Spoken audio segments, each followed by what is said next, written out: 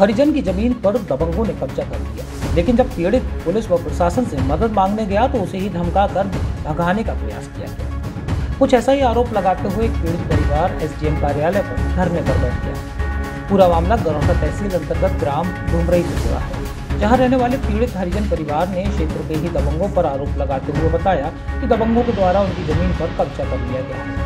बीते दो महीने से पीड़ित पत्थरगड्डी का आदेश लेकर लेखपाल और कानून को चक्कर लगा रहा है, लेकिन अधिकारी दूसरे पक्ष से रिश्वत लेकर बैठे जिससे वह उन्हें कई महीनों से टाल रहे हैं। अब जब वह पूरी तरह तंग आ गए तो उन्होंने अनशन का रास्ता चुना और अधिकारियों के खिलाफ धरने पर बैठ गए। हद तो तब हो गई जब उप जिलाधिकारी ने उनकी समस्या सुनने के बजाय पुलिस बुलाकर उन्हें भगाने की बात कही थी। पीड़ित युवक अपने बूढ़े माँ बाप पत्नी व बच्चों के साथ अनशन पर बैठा था। पीड़ित परिवार ने मीडिया के सामने अपनी व्यथा सुनाते हुए कहा कि जब वह एसडीएम गरोठा को अनशन पर बैठने का प्रार्थना पत्र देने गया था तो एसडीएम गरोठा द्वारा उसे तहसील प्रांगण से जाने के लिए कह दिया गया। यह भी कहा गया कि अगर यहाँ बैठे तो पुलिस बुलाकर भगा दिए जाओ अधिकारियों के इसी तरह के रवैये से देवरिया जैसी घटनाएँ होती हैं और झांसी के अधिकारियों को देवरिया जैसी घटना का शायद झांसी में भी इंतज़ार है। यह बात समझ में नहीं आती कि जब राजस्व विभाग के अधिकारियों को इसी बात का पैसा मिलता है तो फिर वह आखिर लोगों का काम क्यों नहीं करते? सही माने तो इस विभाग के लेखपाल और अन्य अधिकारी भी इतने भ्रष्ट हो चुके हैं कि वह बिना सुविधा शुल्क के किसी की तरफ़ देखते तक नहीं। आए दिन लेखपालों के रिश्वत लेने के वीडियो भी वायरल होते रहते हैं, जबकि उच्चाधिकारी इन भ्रष्टाचारियों पर अपनी तरफ़ से कोई कार्रवाई अमल में नहीं लाते। क्या समस्या है? आपकी सबसे पहले तो आप ये बताओ कि आप इस अवस्था में यहाँ आई हैं। क्या है आपके शरीर में कोई दिक्कत है क्या? विकलांग है क्या है? विकलांग है हमारी जगह पे कब्जा अधिकरण दे रहे साहब।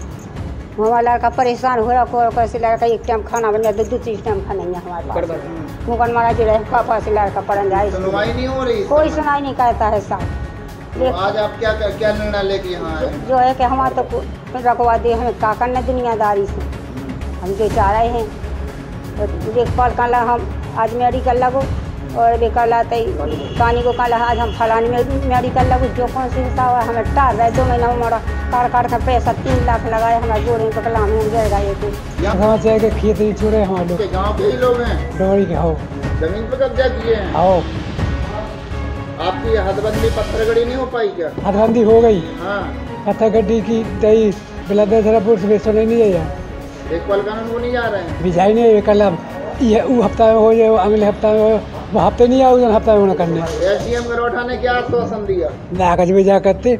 संबंधी समस्या है सर। हमारी ज़मीन जो है गाँव के दबंग लोग यादव जी हैं वो कब्जा किए हुए हैं। और क्या ना हमने पत्थर गड्डी करवा दी कन्फर्म हो गई हम पत्थर गड्डी करवा रहे हैं हथबंदी करवा दी हमने। तो क्या पत्थर गड्डी की नाप के लिए ये क्या नाम जो है कानी बोले पर टाल बटोल कर रहे हैं। दो तीन महीने हो गए ऐसे टाल बटोल करते करते हैरान हो गए हम। पत्थर गड़ी करवाने का आदेश कितने दिन पहले दो दो महीना हो गया कम से कम। तब से पत्थर गड़ी करने नहीं आ रहे नहीं। क्या कहते हैं? बोले अब शुक्रवार को आना मंगलवार को आना ऐसे ऐसे करते करते करते यही होता है। कब्जे ने वे लोग दे नहीं रहे हैं जुगाड़ करते करते। गरोठा से शुगर सिंह की रिपोर्ट।